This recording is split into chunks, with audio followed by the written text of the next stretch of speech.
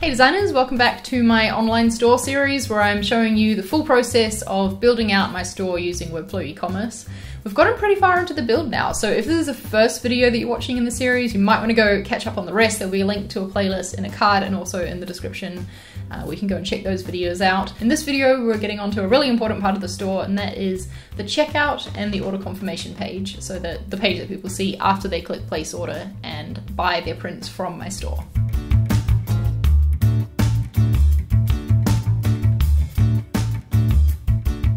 In the last video, I showed you how the cart works in Webflow, how it was a component that I could add things to and style how I like. And the checkout page is kind of similar. If we come over to our pages here, you'll see that checkout is one of the pages that gets created for you when you enable e-commerce on your Webflow site. So let's go into this page. You're basically going to see a lot of very wide form fields. This is not a blank page, and I like that they're not making me start with a blank slate for the checkout because that would require me to think about you know, and remember all the details that need to go in. This is all the compulsory stuff that needs to be on your checkout form. Um, but obviously I can work with this and style it however I like, just like I've been doing with other components. So let's get into it. I didn't actually create a design in Figma for the checkout page like I did the other pages in my store, just because I didn't feel like laying out all of these boxes, to be honest, laying out all these form fields. I think I'm just gonna like go with my gut, design it on the go, and you know, create something that fits with the rest of my site. But if you do want to design it in advance, which to be honest is a pretty good idea, um, I would suggest looking at this page and seeing what all the fields are so you can make sure that you're including them in your design as well. It'd be a handy like thing to refer to. Oh hey, it's VoiceOver Charli back again to explain what I'm doing. Uh, I'm just adding in a section for my header here, making it green, and then I'm adding in the symbol that I created previously, I think it was in episode 2, for my menu. Now I don't really want my form to be stretching the full width of the page, so I'm going to add in my container div here. And then I'm going to add some columns actually, because I want people to be able to see what they're ordering as they're going through and filling out the form. I think that if they're reminded of like the great products that they're going to get at the end of all this, then they'll be more encouraged to actually go through and fill out all these form fields.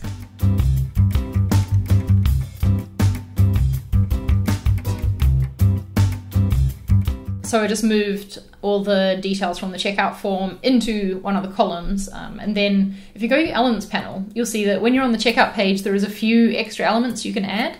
So I'm going to add this order items one into the second column, and that'll mean that my items will be there hanging out next to the form. Then at the bottom, I'm actually going to make use of this other one, which is the order summary.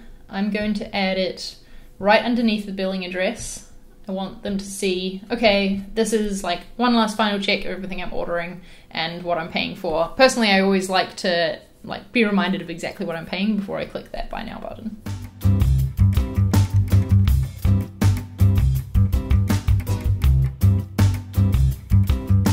Just like I've done some overlapping things on my product pages, on my product cards, I'm going to have this checkout form overlap the green header section here. So to do that, I'm just going to add a negative margin to the top, move it up. Here I'm just going through and adding some classes and doing some styling on this block uh, to take away the, the default that it had and add in my own styling to match my site. So I'm changing the borders, changing the background, adding a little bit of a shadow to it, basically just getting it to look like it fits in with the rest of my site.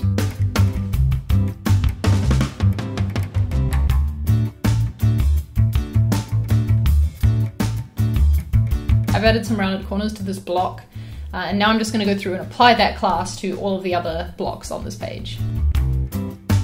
So once I made that class on that first box, it's pretty easy to just come down and click on each other element that I needed on and add the class to it. You just have to start typing the first few characters and then it appears in the drop down list there that I can click on. Just playing with the spacing a bit, making sure everything feels like it's got, you know, just a bit of breathing room.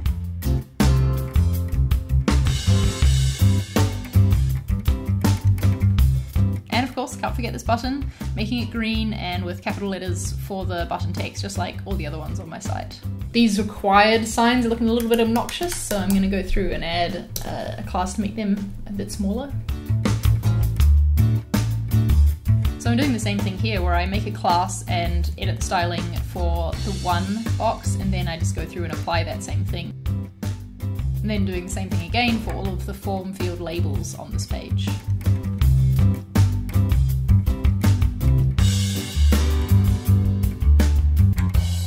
Starting to match my design a lot better.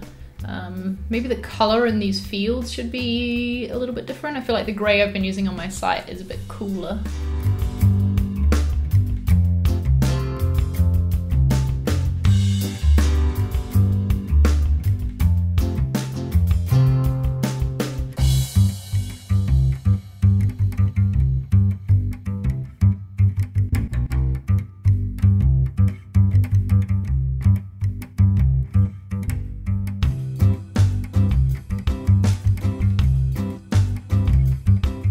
I want this little block here of my items, um, there's still some styling to do with it, but I want it to stick there on the screen as I scroll down so that it's always in view as you're scrolling and, and finishing this form. If I set flex stretch on the div that contains my columns, that means that both of my columns are going to be the same height.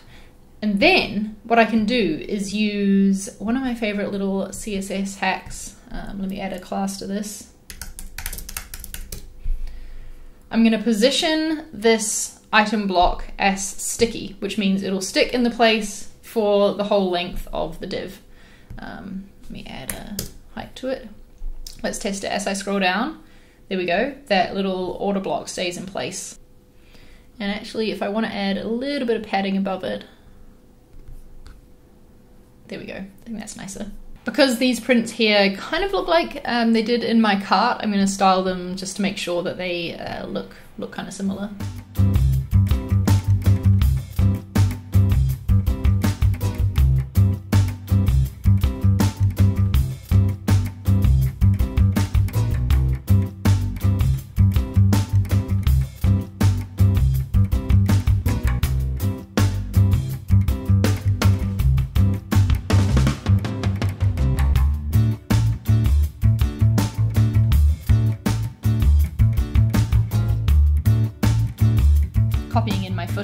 Done on all the other pages. Doing a little bit of rearranging here in this order summary uh, block just to make things sit where I want them to, to kind of match with the cart, like I said, and then changing the, the styling of the text as well. Right now I'm swapping out the text here to be H6 headings so that it matches better with the styling that I did on my cart. Um, so even though this isn't a CMS collection we created or anything, it works the same throughout the checkout form. So right here for this H6, I'm going to tell it to get the text from the extra items, which is what this block is called, name. Um, and then it'll put that in there. And this is their shipping class, so whatever shipping class they've selected, that's what'll show up there. You gotta be careful to make sure you're doing that because you don't want to like type that out manually, what you see here in the example page, um, because obviously you want it to be updated depending on what people select in your checkout. You can tell if something's dynamic content in your layers list by if it's purple. So I know that anything that's purple, I have to make sure I connect it to a field if I'm going to be changing changing out the way things are arranged and what element is used there.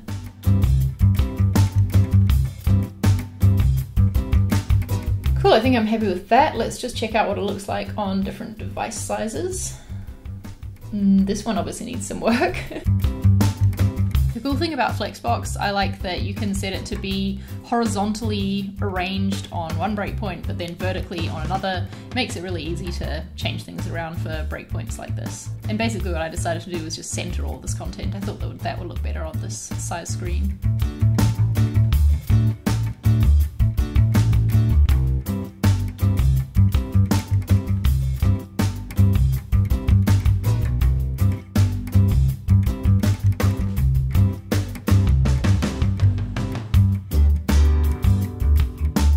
Can make use of Flexbox ordering here to put uh, my items in order list up the top on mobile when it can't really follow you down the page because that would get annoying and take up too much room.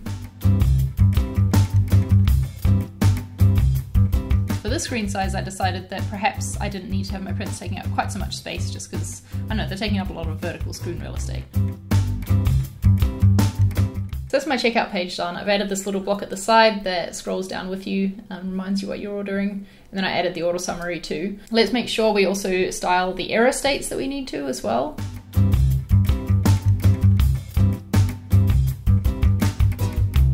I think that'll be fine. Um, okay, let's move on to the order confirmation. And what I want to do is make the order confirmation look fairly similar to the checkout, just so it's a nice seamless experience once you click place order um, that you're ending up in a familiar place. So um, to do that, I'm going to copy this header here actually, just hit copy, come over to the order confirmation page.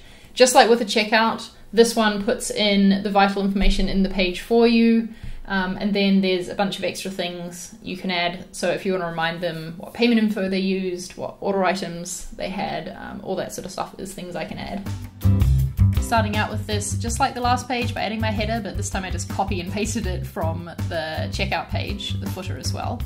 And I'm doing the same thing here where I'm putting the form into a container and then also adding columns to it.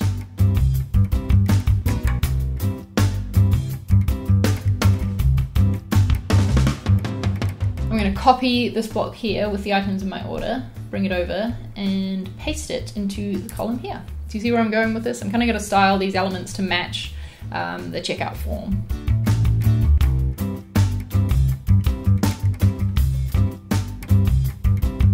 Just like on the checkout page, going through and adding that same class that I did for the blocks on there so that these will match exactly. It also means that if I decide I want to change that style, I just have to change it on the class and it'll automatically update across um, all of the places that I've applied it. As you see me swapping back to the checkout page every now and then while I'm laying out this uh, order confirmation page, it's just because I wanted to check that visually these things are aligned and that they're looking like they came from the same place.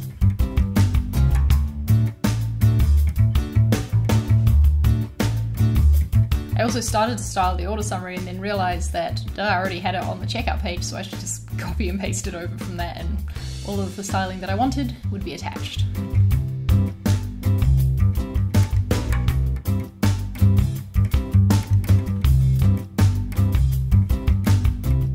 Alright, I think I'm done. So here is my finished checkout page. As you scroll down and you're filling out all these fields, this little block will go down with you. Once your order is placed, this is what you'll see. It's the same sort of layout, so it'll look familiar and it'll look like it'll have good continuity. And again, this um, little item block is sitting at the side there as you scroll down, so you're always reminded what you ordered. This brings us to an end actually of all of the pages that I needed to design in order to get this store live, so that feels good. We've made some great progress. Um, there is a few last little details left though that we're going to tackle in the next video, which is the last video in the series.